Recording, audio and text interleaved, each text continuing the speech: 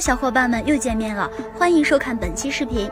今天与大家聊一聊地球上五大不可思议的超自然现象——波罗的海的神秘物体。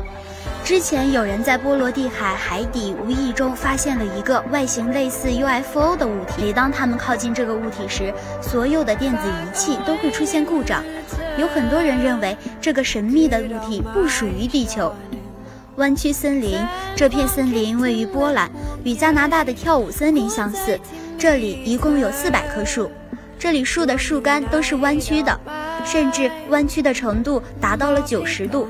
而波兰其他的地方就不会出现这种情况。至今，科学家也没有给出合理的解释。那家火球，泰国湄公河下游七十到一百公里的地方，经常会在水面上出现红色发光的球体。这一现象在十月份是最常见的，看起来很像鬼火。当地人给它起名“那家火球”。有专家解释道，这一神秘现象是磷化氢遇到空气产生的自然现象导致的。鸟类自杀之谷在印度的加丁嘎谷有个很奇怪的现象：鸟类会在这里低空盘旋，有的甚至会昏迷掉落悬崖。